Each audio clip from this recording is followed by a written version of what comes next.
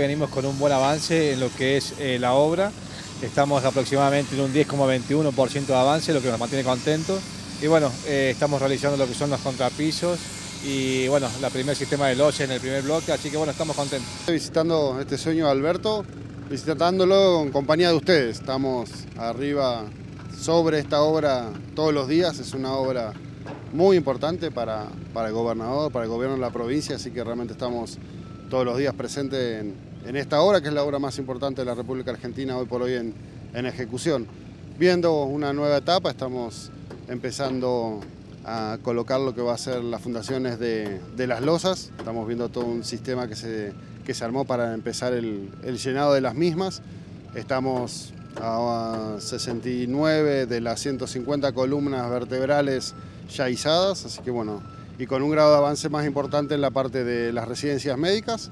Venimos según los, los plazos estipulados, así que realmente eh, contentos y como digo, ocupándonos, estando todos los días con, con presencia en esta obra. ¿no? La primera etapa la podríamos definir en lo que fue los movimientos del suelo. Lo que ustedes van, ven es una gran cantidad de movimientos de suelo que se realizó para ni más ni menos que nivelar esto. Son 54.000 metros cuadrados cubiertos, por lo tanto los movimientos, las fundaciones, ya pasamos, ahora lo que están viendo son las máquinas tapando lo que son las fundaciones que sostienen estas, estas columnas, estas, estas columnas vertebrales de este gran sueño de Alberto. Es, todo lo bajo tierra ya, ya se ha finalizado en, lo que tiene que referencia a bases.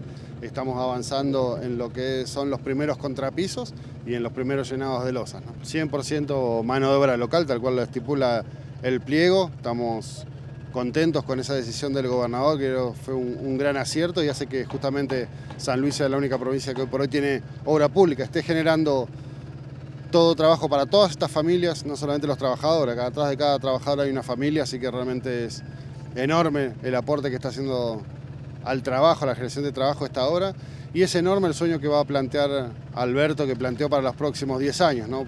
posicionar a San Luis como un centro de la medicina a nivel nacional realmente nos llena de orgullo como para formar parte de este equipo.